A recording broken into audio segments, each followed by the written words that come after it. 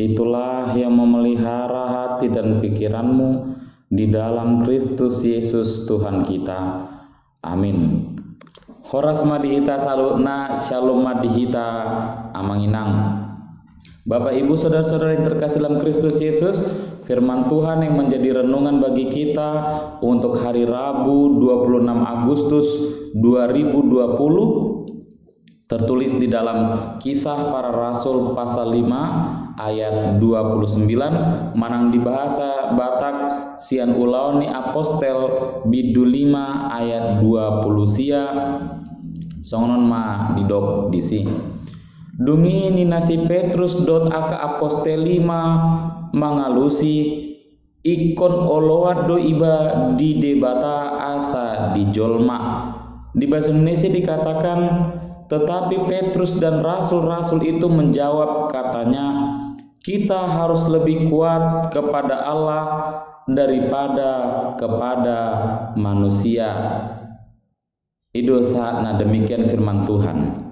Bapak Ibu saudara-saudara yang terkasih dalam Kristus Yesus, kita harus lebih taat kepada Allah daripada kepada manusia.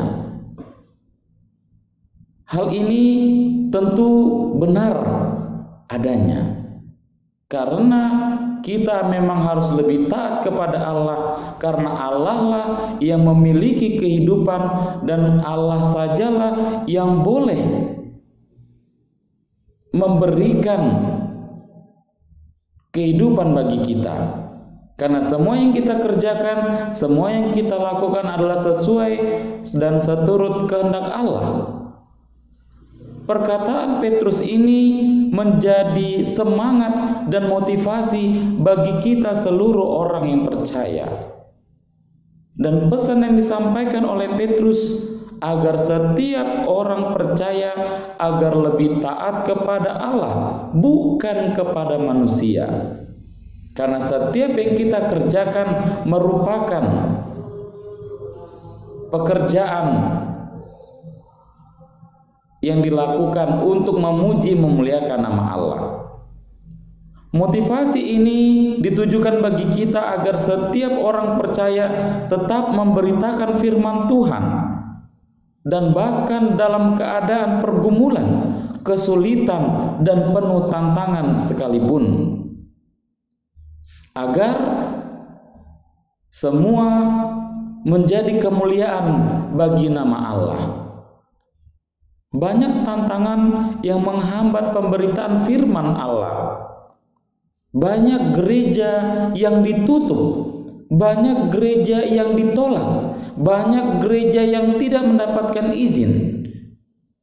Sehingga pemberitaan firman Tuhan menjadi terhambat. Oleh sebab itulah Allah memberikan semangat bagi kita melalui firman ini kita diajak bagaimana kita boleh tetap mengumandangkan lagu puji-pujian kita bagaimana kita tetap menyampaikan firman Tuhan dan tetap taat kepada Allah walaupun